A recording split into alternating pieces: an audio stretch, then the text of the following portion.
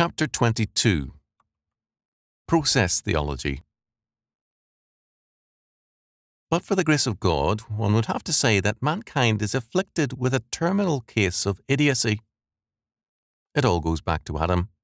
There he was in paradise, standing next to a naked Lady Eve, and all he does is to munch on an apple or whatever that piece of fruit was. Of course, Eve was no better.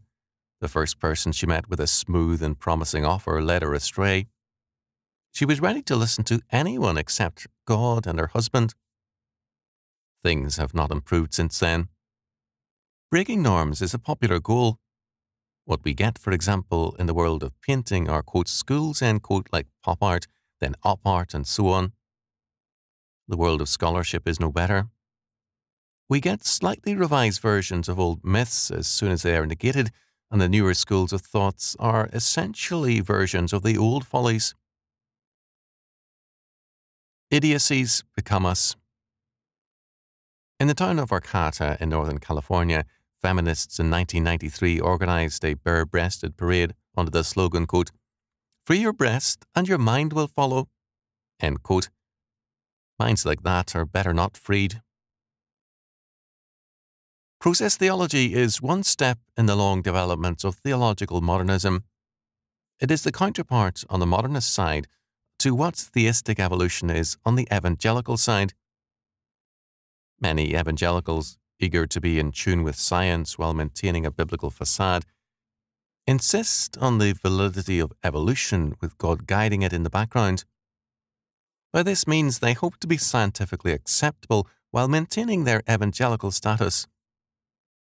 It is, of course, an untenable position because it seeks to unite two mutually exclusive premises. Evolution's premise is chance, not God. Process theology seeks to retain the form of biblical faith while seeing the whole reality governed by the evolutionary process.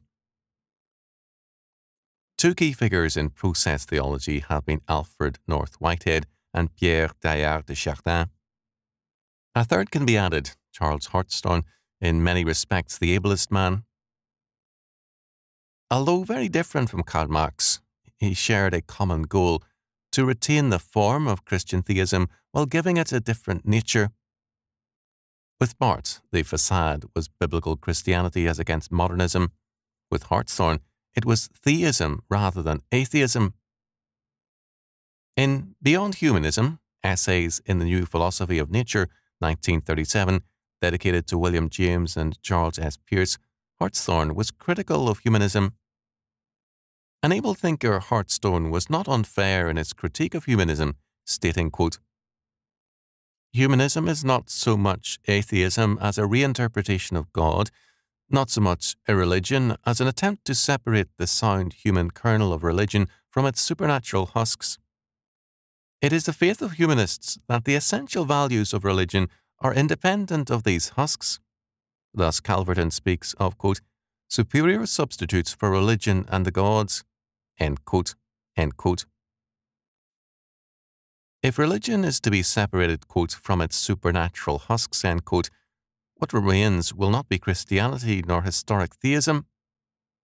Hartshorne, in fact, is equally negative towards Christianity and humanism. Quote, Supernaturalism and humanism are, I hold, two aspects of the same error. The mistaken notion that nature, in her non human portions and character, is wholly subhuman. Is there a third possibility that nature, in some transcendent aspect, is God? This is the alternative Hartshorne is concerned with. It does not occur to him to question the existence of nature does nature exist, or is the term simply a collective noun for the sum total of the created order? It is easy to say that things naturally exist, but does this mean that there is such an entity, entelechy, mind, purpose, or direction that can be called nature? For Hartshorne, fundamentalism does religion a disservice because it is, in its view of infallibility, quote, a meaningless idea, end quote, or quote, a positive evil, end quote. His own view is better. He holds, quote, For just as God is nature as infinitely lovable, so he is nature as infinitely intelligible.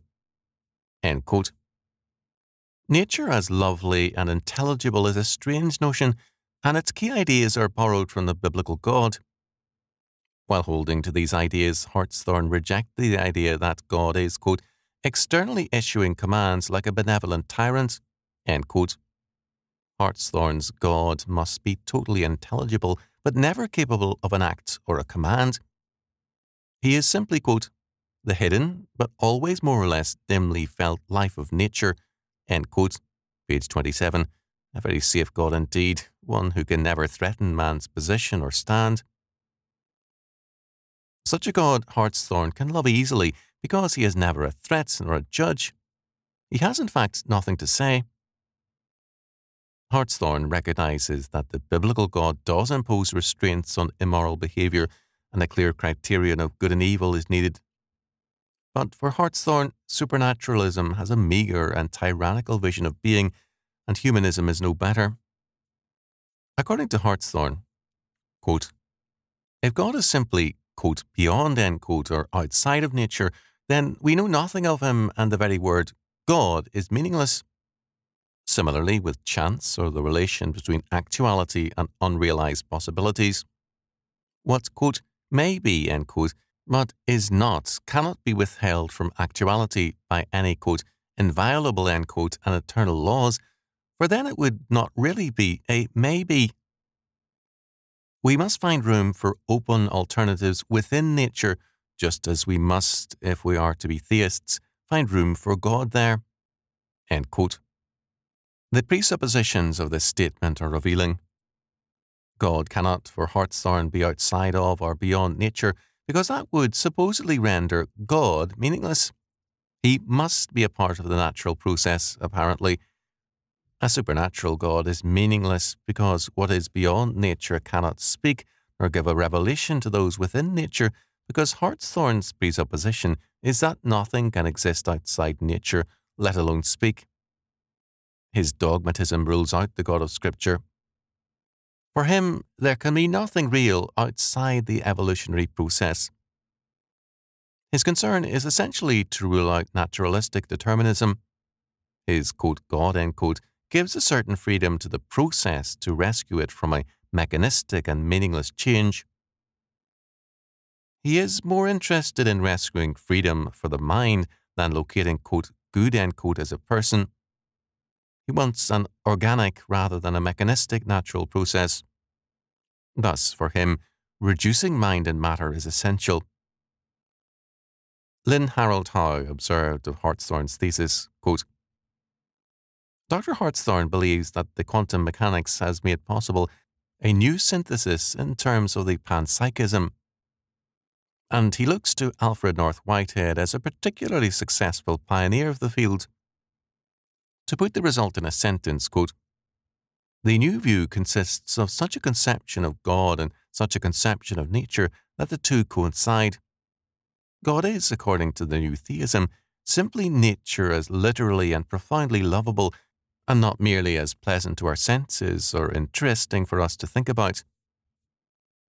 Dr. Hartshorne urges that we accept a theistic naturalism, understanding nature itself to be divine. The world is a world of body mind. Quote, we shall never understand a God of love unless we conceive him as the all sensitive mind of the world body. End quote. Quote, the new theism can perfectly well state its thesis as, quote, the universe is divine, end quote. That is, is the supremely integrated conscious organism, end quote. Hartshorne's God is not much of a God. We, he tells us, know that he is, not what he is. When Hartshorne tries to discuss the quote, personality end quote, of his God, his righteousness, or his purposes, he drifts into obscurantism. He wants a God who can evoke something resembling what the God of Scripture does, but without becoming that God. In The Gay Science, Nietzsche said something most relevant to our subject. Quote, Without Hegel, there could be no Darwin. Without Hegel, there could be no Hartshorne either.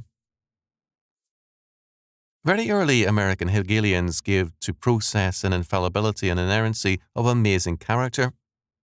Thus, Octavius Brooks Frothingham, 1822 to 1895, a Harvard man, a Unitarian, and a leader in the new thought of his time, wrote, quote, The interior spirit of any age is a spirit of God, and no faith can be living that has that spirit against it. No church can be strong except that alliance.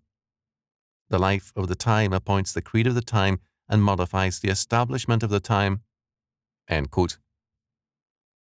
This deification of process, whether in Hegel, Marx, Frothingham, or Hartshorne, may see itself as noble and wise, but it is a blueprint for tyranny.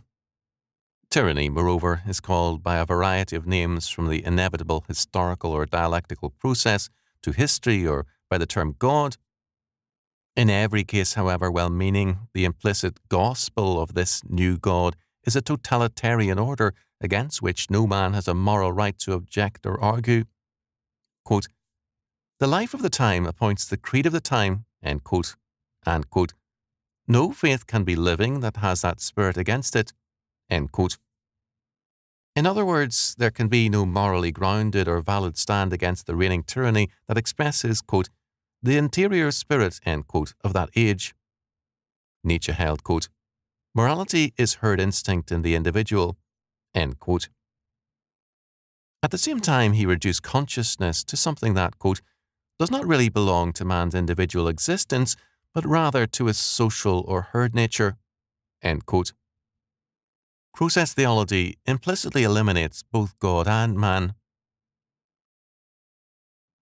W. Norman Pittenger called Hartshorne's version of process theology, quote, a natural theology, end quote. Process theology is inevitably that because it allows no word to speak or to govern other than a totally natural word. As a result, process theology spokesmen can give no word other than their own because none other, least of all God, are allowed to speak.